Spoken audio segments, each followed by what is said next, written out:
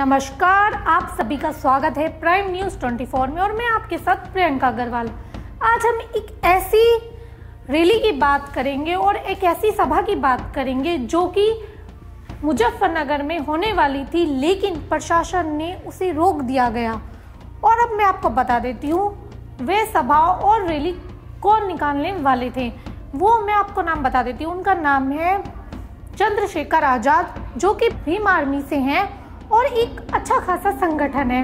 और आपको एक और बात बता देती हूँ, चंद्रशेखर का नाम तब उजागर हुआ जब 2 अप्रैल को भारत बंद कर दिया गया था।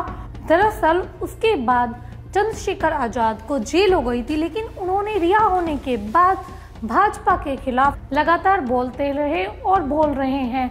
ये भी एक कारण हो सकता है कि सरकार ने उन पर रोक लगा दी गई है कि वह मुजफ्फरनगर, क्योंकि एक संवेदनशील शहर है, क्योंकि यहाँ पर बहुत सीरियस माहौल रहता है, इसलिए उन्हें इस बैठक के लिए रोक दिया गया।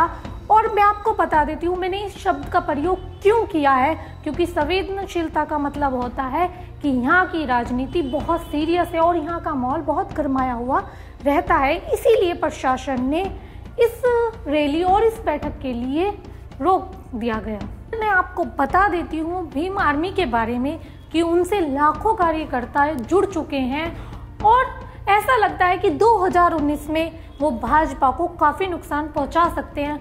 लेकिन एक बात और है कि अगर भीम आर्मी भाजपा के साथ नहीं है तो वे कौन सी पार्टी के साथ जा सकती है और किसे फ़ायदा पहुँचा सकती है? क्या वह सपा के साथ जाएगी या कांग्रेस के या मायावती जी के साथ जा सकती हैं?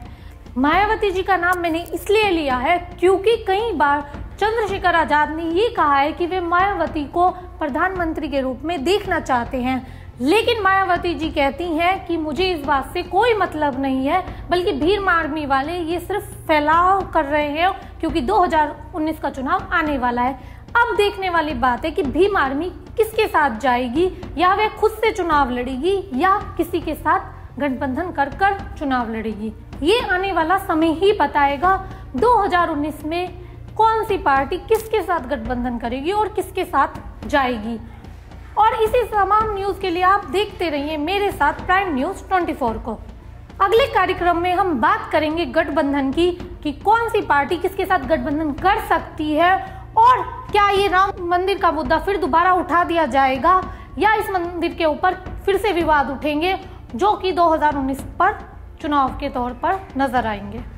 अगर आपको यह वीडियो पसंद आई है तो हमारे चैनल को सब्सक्राइब ज़रूर करें, लाइक करें और शेयर करें।